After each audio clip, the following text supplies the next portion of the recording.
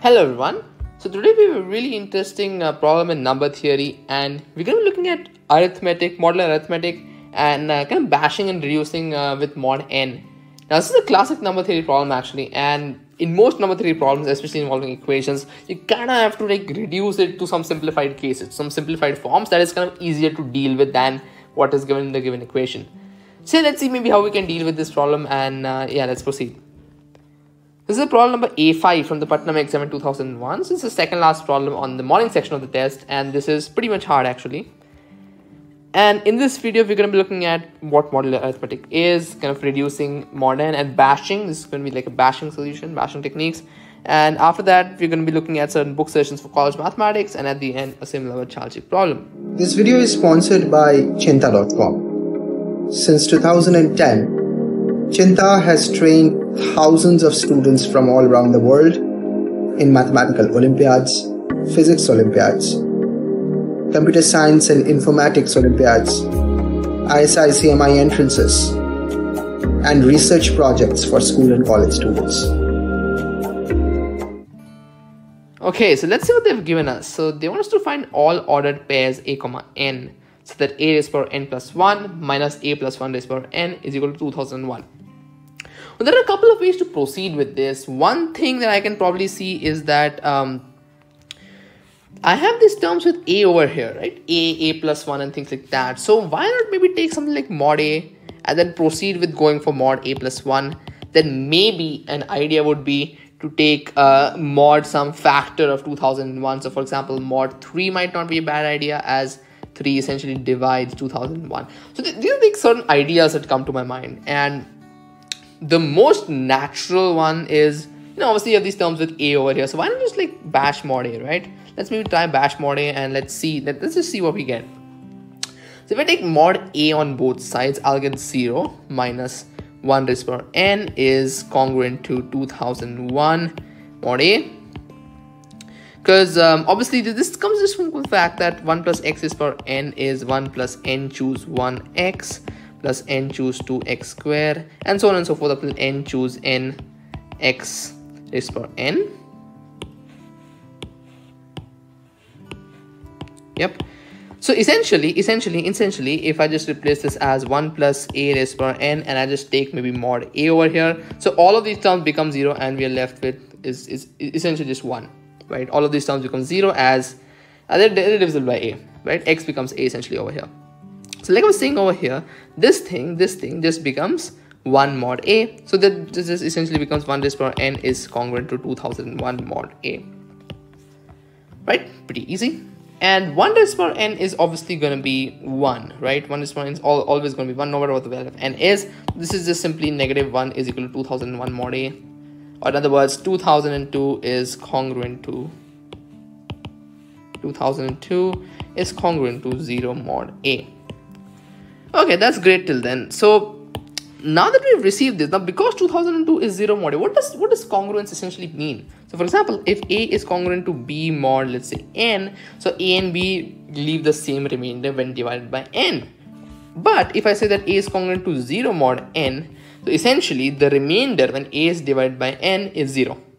Right? So using the same kind of logic over here, we can just say that A divides 2002 for example for example if i was figuring out let's say 42 now 42 is congruent to 0 mod 7 what does that mean? That 7 essentially divides 42 the remainder when 42 is divided by 7 is 0 so yes just using that idea a is uh, a actually divides 2002 and 2002 can be actually represented as 2 into 7 into 11 into 13 and why why did i write that because that essentially reduces the number of possibilities of A. So A essentially divides 2000 into there are finite numbers of divisors of A. So there are only a finite number of possibilities for what A can be, or rather more importantly, there are just some finite number of cases that we can resolve this problem into. And I think that was really essential because this is one of the steps that I see whenever whenever like I just take mod some value. For example, in a, in a number theory problem, if I just take mod 7, and beyond a point if the if the like if the equation what i'm given if, if the problem is not simplifying it's not reducing to a smaller value or a value that is easier to deal with then that means i'm probably on the wrong path but over here because of the fact that we kind of reduce the number of possibilities of a we're actually on the right part so mod a taking mod a was actually a very very useful step right That's kind of the intuition behind mod a, but anyways, let's uh, maybe move forward. Now let's bash mod a plus 1, right? Let's reduce mod a plus 1. And um, how, how will that work? So what's the given equation, right? The given equation is this, okay. a raised power n plus 1 minus a plus 1 raised power n is equal to 2001. Now, the good thing to note is that a plus 1 is actually congruent to 0 mod a plus 1. Right, that makes sense. So essentially a is congruent to minus 1 mod a plus 1 and essentially a raised power n is congruent to minus 1 raised power n mod a plus 1. Okay, that's great. Because if I take mod uh, a plus 1 on both sides of this equation, this will obviously be 0 and this will reduce to minus 1 raised to the power n plus 1 is congruent to 2001 mod a plus 1 and well that's great because um because uh, essentially now there's nothing more that can be done over here you don't really know the parity of n right n is odd will give you uh, plus 1 and n is even will give you minus 1 but we don't really know what n is over here so so um, can't really comment more on that. So up till then we have received two results. This is obviously the, this is obviously the second result that we had received and the first result that we had received was um, a little bit over here. A is congruent to 0 mod n. What was it? A is uh, so a divides 2002 yeah. Or rather this result. 2002 is 0 mod a it like that. 2002 is effectively 0 mod a. So these are a couple of results that we had um, we had gotten till now. Now if you actually see the equation what was the, what it was a is power n plus 1 minus a plus 1 is power n is equal to 2001 like i was saying before 3 is like a factor of 2001 so why not just use mod 3 yeah? Why not try bashing mod 3 so essentially the idea is initially we're trying to make the left hand side 0 by taking mod a and mod a plus 1 now we'll take maybe like mod 3 and make the right hand side 0 and effectively, when you take mod 3, what happens is that a raised power n plus 1 minus a plus 1 raised power n is congruent to obviously 0 mod 3. Right? Now, effectively, now here's a claim that I'll make. I'll make like a claim and then we'll analyze that. So the claim is that a cannot be 0 or uh, minus 1 mod 3. So for example, let's just consider if a is, uh, let's say 0 mod 3 so if A is 0 mod 3, then this thing will be 0 mod 3, but this thing won't be 0 mod 3. And this will be something else mod 3. So effectively, you'll never be able to get 0 mod 3 over here. So A cannot be 0 mod 3. Similarly, if you take A is equal to minus 1 mod 3, then this will obviously be 0 mod 3. But then again, this won't this this will be like 2 mod 3. Right? Because minus 1 is 2 mod 3 and the raised to power n plus 1 will be the same. So this, this will never again be 0 mod 3 for these two values. So effectively a can never be 0 or 2 mod 3. So therefore a has to be 1 mod 3. So now that we've figured out a has to be 1 mod 3, I can just reduce this equation or rather this equation over here to 1 raised power n plus 1 minus of minus 1 raised power n is congruent to 0 mod 3 because essentially minus 1 is this is nothing but 2 minus 2 mod 3 1 mod 3 is uh, minus 2 mod 3 and if I just plug in minus 2 mod 3 over here I'll get minus 1 raised power n and 1 mod 3 obviously over here to get this. So effectively this is kind of what we have reduced it down to. Now 1 raised power n plus 1 is obviously going to be 1 so negative of negative 1 raised power n this has to be 0 mod 3 and let's say analyze the parity of n. So for example if n is even let's say if n is even. What will we get? Minus, uh, 1 minus minus 1 raised upon even power right? Which will effectively be 1 minus of 1 which is 0 and on the right hand side also we have 0 mod 3 this is perfect. So n is even works. If n is odd if n is odd minus 1 raised power odd is obviously minus 1 so we'll get 1 minus of minus 1 right? Which will be obviously 2 on the left hand side we get 2 right hand side 0 mod 3 this does not work. Therefore n has to be even that's great because we figured out the parity of n. We figured out what n will be. Okay that's great. So moving forward moving forward where were we? So we had kind of like uh, deduced that n needs to be even. So effectively minus 1 raised power n plus 1 needs to be congruent to 2001 mod a plus 1 and this is i believe equation number 2 that i had marked over here. Yep minus 1 is for n plus 1 is 2001 mod a plus 1 this is just equation number 2 and because of the fact that n is even my, this becomes essentially minus 1 raised by an odd quantity which will be minus 1 that'll be congruent to 2001 mod a plus 1 so effectively 2002 is congruent to 0 mod a plus 1 and earlier in what I had marked in equation number 1 it was 2002 is congruent to 0 mod a. So effectively a divides 2002 and a plus 1 also divides 2002 so this means that two consecutive numbers divide 2002 and 2002 the prime factorization is 2 into 7 into 11 into 13 four primes over here. And the really only consecutive divisors are 13 and 14 and you can just check that out playing around a little bit that these are the only two consecutive divisors of 2002 but therefore we get a is equal to 13 so now now now what was the problem what was the problem so we kind of reduced the problem significantly actually over here it was a raised power n plus 1 minus a plus 1 raised power n is equal to 2001. And now that we figured out a is 13, so this is essentially 13 raised power n plus 1 minus um, 14 raised power n is equal to 2001.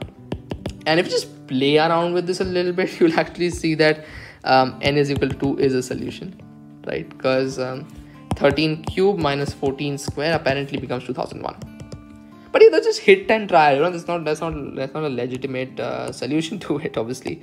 So we're gonna maybe have to prove if there exists more solutions or probably n is equal to is the only solution. You can also check that n is equal to 1 does not hold okay? Does not hold does not satisfy. And obviously does not satisfy because 13 square is 169 minus 14 is 145 so it's nowhere even close to 2001 but um, anyways so just playing around we figured out that n is equal to 2 is a solution but now maybe we kind of let's see if it is the only solution or if there exists some other solutions. So for uh, let's consider for n greater than equal to 2 right? Let's consider for n greater than equal to 2 if we just take mod 8 right? If i just try to bash mod 8 and let's see what we get. So we have this thing right? 13 raised power n plus 1 minus 14 raised power n is equal to 2001. So to try and bash mod 8, but before that, I'm probably going to see what values 14 raised power n gives uh, with respect to mod 8. So 14 raised power n is nothing but minus 2 raised power n mod 8 as 14 is minus 2 mod 8. That's pretty clear. And uh, 14 raised power n, so if I just start plugging in some certain values of n, so if I just plug in, let's say n is equal to 1, it will give me minus 2 if I put an n is equal to 2 it will give me 4 if I put an n is equal to 3 it will give me negative 8 mod 8 but that's 0 if I put an n is equal to 4 it gives me 16 mod 8 but that's again 0 if I plug in n is equal to 5 it gives us minus 32 mod 8 which is again 0 so effectively effectively 14 raised power n is going to be congruent to minus 2 4 0 0 0 0 0 0 up till up till infinity mod 8 so, so for n is equal to 1 and n is equal to 2, it gives certain value, certain non-zero value mod 8. But for all n greater than 2, right, for all n greater than 2, it is 0 mod 8. Right? And it's actually, it would probably better to check n greater than 2. The strict inequality would probably be better. Because we are getting a solution for n is equal to 2, right? So yes, so for n greater than equal n greater than 2, 14 this power n is congruent to 0 mod 8 and um, that, that's that's really great actually because now if I just check n uh, greater than 2 or rather n greater than equal to 3 then I can effectively reduce this problem what we had to something else right? So for n greater than equal to 3 what can I say? So this will be minus 3 raised to the power n plus 1 is congruent to 1 mod 8 and um, again really so if, if you actually just again just plug in certain values for example if i plug in n is equal to 0 and 1 2 3 4 let's just analyze what values we get. If i plug in n is equal to 0 i get minus 3 uh, mod 8 if i plug in n is equal to 1 i will get how much? 9 mod 8 but that's just 1 if i plug in n is equal to 2 i'll get minus 27 mod 8 but this is minus 3 if i plug in n is equal to 3 i'll get 81 mod 8 but that's just 1 and so on and so forth. This is a repeating pattern so minus 3 raised power n plus 1 will be congruent to minus 3 comma 1 mod 8 always. And this is kind of a repeating pattern. So if n is even, I get minus 3, right? 0, 2, 4. I'll always get minus 3. And when n is odd, I'll get 1. So it needs to be 1 mod 8. So therefore, n has to be odd. n is odd. But that's a contradiction. That's a very big contradiction because here you see I'm saying n is odd.